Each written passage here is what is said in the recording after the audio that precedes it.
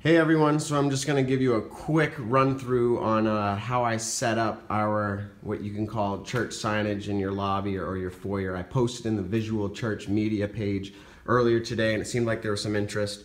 So I'm just going to do a quick uh, power on of our TV display here. Uh, power.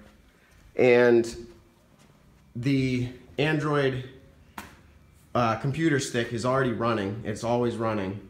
Um, it should start up here once it pops on the TV. And so here is what I have located in my Dropbox folder. You can have videos, you can have graphics. If you're going for a more traditional, just like signage, as in like, hey, go this way for uh, our children's program or this way for bathrooms, you could just drop one graphic file in there. Um, but in this case, we're utilizing uh, more of a promotional style signage. Uh, so here you can see a static image. Um, and then the next one will come up. Some of these I didn't have scaled correctly, but I, I can fix that and drag them back in the folder as it stays synced automatically. Uh, this app called DropSync will take the folder uh, that you've selected in Dropbox and actually make the files local on this computer, uh, this Android stick. So as you can see, it cycles through whatever we have up here and it'll play videos no problem. Um, they look pretty meant for signage. I would say it's high def. I mean, you can see a little bit of a uh, little bit of noise maybe, not much at all if you compress it correctly. And so this is what it looks like. Some of you are asking what it looks like. I will actually uh, give you a look behind the scenes here too, what the little computer uh, looks like. Let's see what comes up next. So you need to say yes to God. So this is actually a um, right now in your heart, previous, like a clip from the previous service the week before, so we can play snippets uh, for people to see before the services from the previous week. It's like a minute or two long video. So let me show you real quick uh, what this actually looks like back here. See if I can turn this up enough. Might. It's just a small, here's the one that I uh, posted in my material list, the Diatech.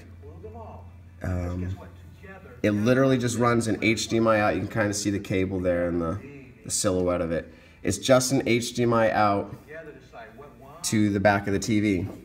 And the only wire that I see with this setup right now is this uh, USB power cable, which runs down there. But if you have a newer TV, it probably has a powered output, USB output, uh, which you could just plug right back in, and then the whole TV itself would just be standalone, uh, turned into a nice little uh, digital display setup for you.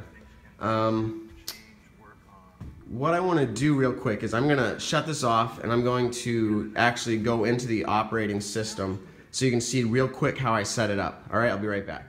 Okay, so I'm back real quick. I hooked up the uh, keyboard and mouse. Now, there are other ways to do this. This is just what I had on hand.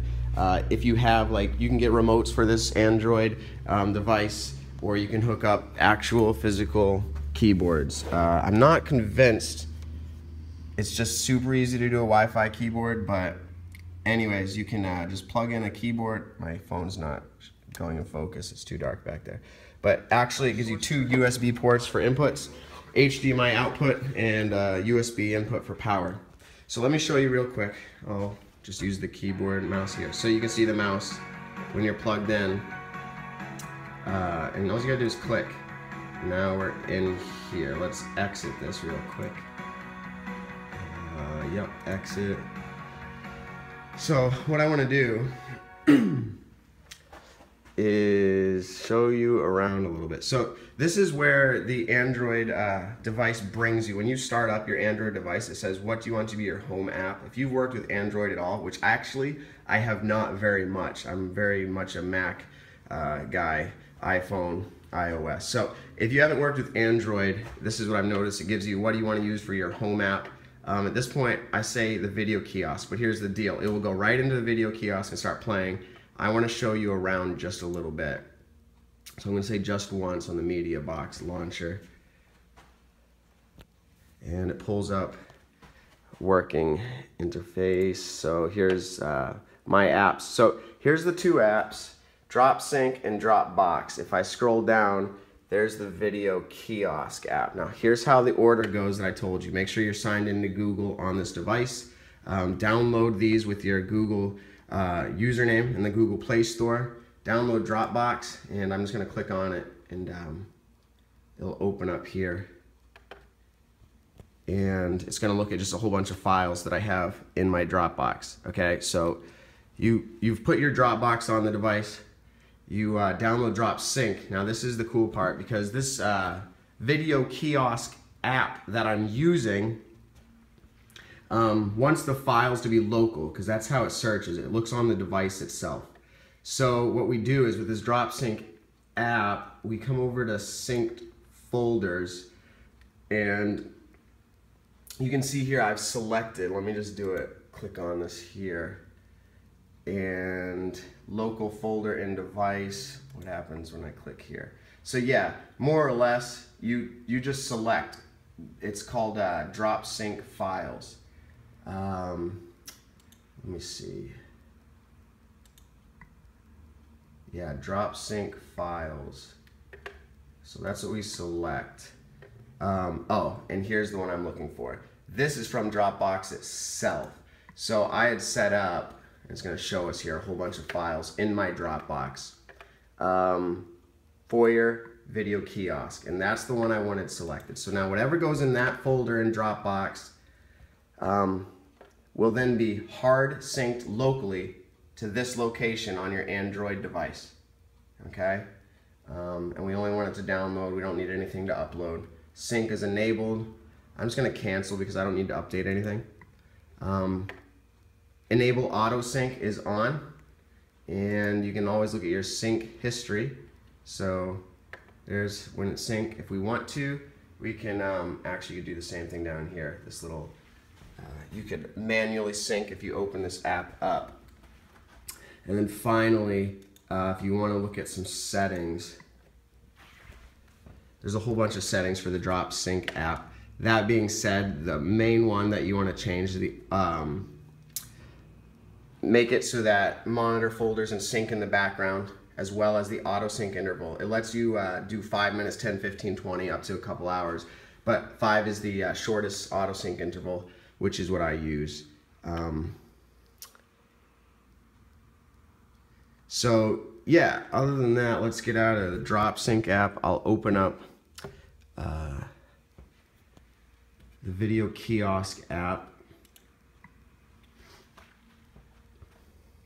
So it's going to go ahead and start, it's going to start playing uh, the video kiosk app, which it already knows where to find the images because if I go to settings up here, this is where you're going to get an idea of what you can do with this video kiosk app.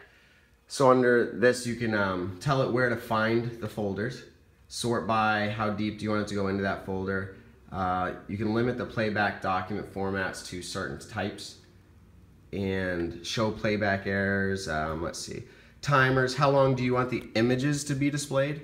Uh, this doesn't affect videos, it's only the images. Um, reboot stability time, how long do you want it to, uh, to wait before the Android reboots? Um, do you want it to say anything when it's doing that? Um, here you go, launch on startup. So automatically when the device starts or restarts, you can have it set to uh, be this app, which is what we want. So that is selected.